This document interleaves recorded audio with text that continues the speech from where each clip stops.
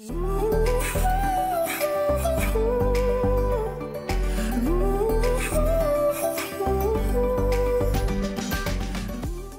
we all love flashing new and cool ROMs, right? But it's kind of headache to set up the phone again from beginning. And thanks to Titanium Backup because it helps to restore all the apps and data into new ROM. But what if you have multiple Google accounts? Let's say you have 5 Gmail accounts and you want to restore all of them into new ROM. So you will have to sign in each and every one of those Google accounts again into new ROM. And sure Android Beam is there but it never worked for me. Plus you will have to remove covers from both the phones. So in this video i'm going to show you how to restore your all google accounts from one phone to another.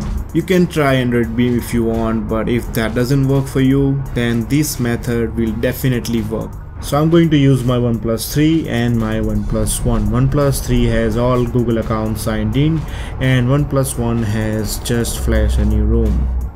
So after your device boot on the setup screen, just tap next and when you reach to tap and go section, just tap on having troubles.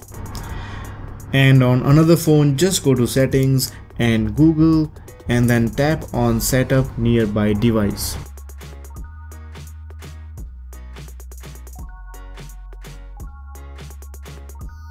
It will show you your device name ending with 255. and then a random number on both screens.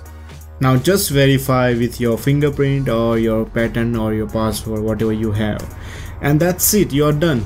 It will take few minutes to set up so don't worry. So it was that easy and it might save you lots of time. And if you want to see how to use Titanium backup for apps and data just tap on I button. So hit the like button if this video was helpful to you. And if you like my videos then you will definitely like my second channel. It's funny channel just give it a shot.